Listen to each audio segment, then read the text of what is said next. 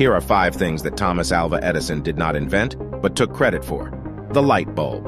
It was actually Sir Humphrey Davy that invented the electric light in 1809. Edison's light bulbs were released only in 1877 by improving on the work of his predecessors. Motion picture.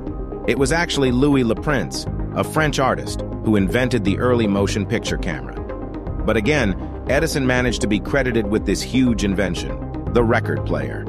Edison is attributed to the invention of the record player, even though he created the phonograph, which only records sound. The power generator.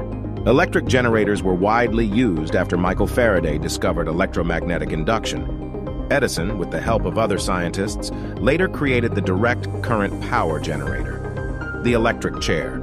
The electric chair was invented by one of the people working for Edison, Harold P. Brown.